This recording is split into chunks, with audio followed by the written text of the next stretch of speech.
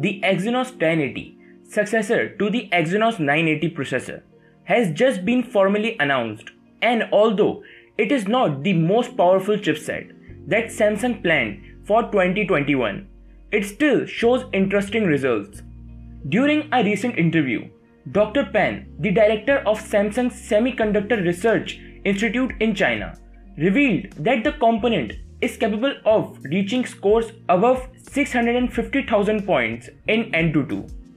These numbers are impressive as they exceed the 650,000 points reached by the ROG Phone 3 in the popular benchmark application. Interestingly, the Samsung chip should debut commercially not in a product of the brand itself but in the upcoming Vivo X60, says ICE Universe.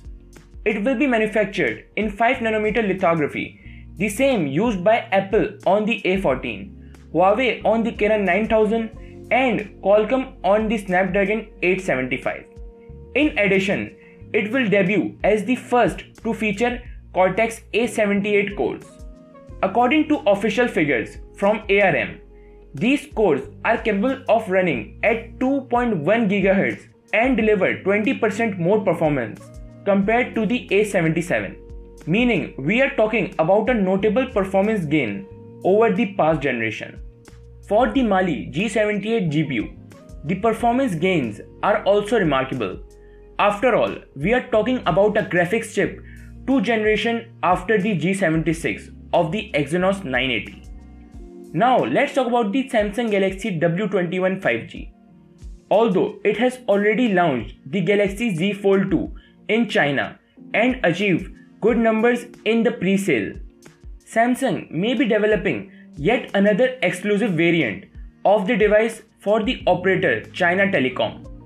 That's because TENAA revealed that the Galaxy W21 5G is now ready to be announced in the country. In general, we are talking about the same foldable Galaxy Z Fold 2. However, Samsung has made some minor changes to the device finish.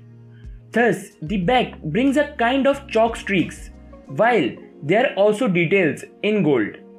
For now, despite the certification, the Galaxy W21 5G has not yet had its release date confirmed in China.